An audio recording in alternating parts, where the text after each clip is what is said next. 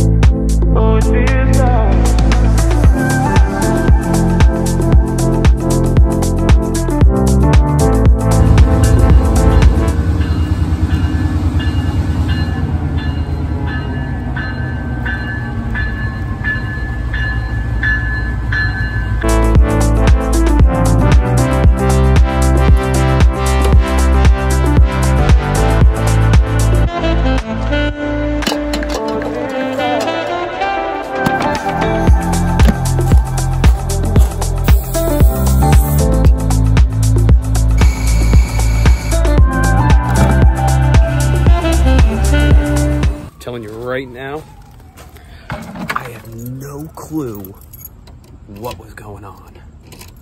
Thank God it's October 4th and the super said, let's just worry about this next year.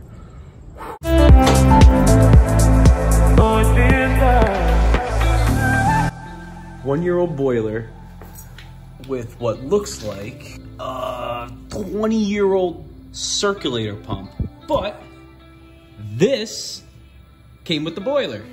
Is it me or is it something with these uh, Lochinvars with the brass circulator pumps? Like every single one always looks like that. I don't get it.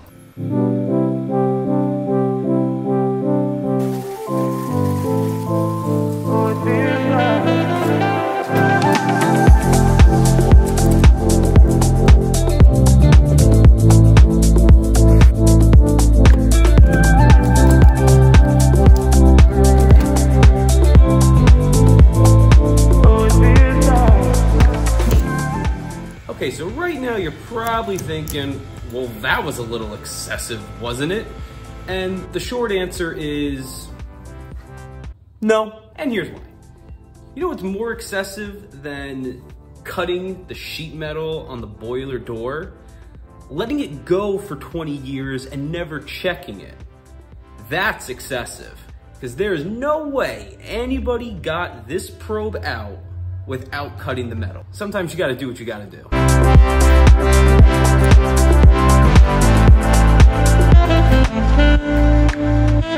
See, can't even tell. I know I'm gonna regret this, but it's gotta be done.